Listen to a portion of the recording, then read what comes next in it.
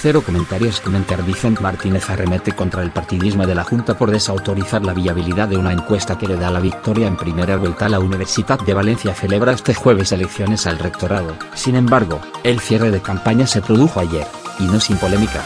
Si la difusión hace unas semanas de la primera encuesta electoral ya provocó un enfrentamiento entre candidaturas, la publicación ayer de otros sondeos motivó incluso la denuncia de Vicente Martínez contra la Junta Electoral, a la que acusó de partidista. La encuesta la realizó un grupo de estudiantes de cuarto de Sociología bajo la dirección de los profesores José Manuel Paria Miralles y Penélope Hernández Rojas. En su día, María Antonia García Benagua quien la encuesta situada en último lugar denunció con un vídeo que los resultados podrían estar manipulados, al no garantizarse que una misma persona no pudiese votar varias veces. Ayer fue Vicente Martínez quien arremetió contra la Junta Electoral, que previamente había cuestionado la fiabilidad de la encuesta difundida ayer. En una comunicación a la comunidad universitaria, el órgano que preside Carlos Alfonso negó haber dado autorización para la realización de una encuesta. Tampoco puede prohibirla al ser una iniciativa particular, dijo la Junta Electoral. Se ha requerido para que no se usen medios de la universidad.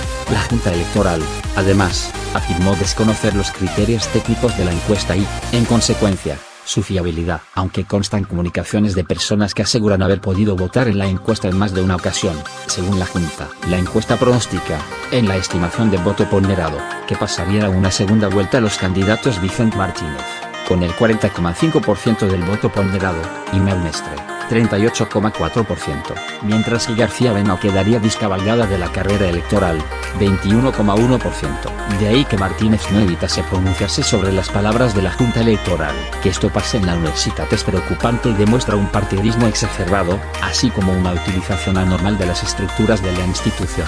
Dijo, no se puede estar siempre en la prohibición, en la normativización, y eso es consecuencia de una manera de gobernar basada en la hoja Excel normativa, que es redefinición de cómo es Maumestre. Agregó, la denuncia de juego sucio en esta campaña la ha hecho también García Benau, quien criticó al actual equipo rectoral por no limitarse a gobernar en funciones, beneficiando así en teoría a Mestre. Además, su queja logró desbloquear la grabación del claustro electoral, cuya posterior difusión había prohibido la Junta Electoral. Te puede interesar noticias relacionadas el lema de Nicolás Maduro para la campaña electoral, Juntos Podemos más Benjamín Netanyahu, contra las cuerdas por otra investigación de soborno un predicador, un periodista y dos abogados, favoritos en las presidenciales de Costa Rica.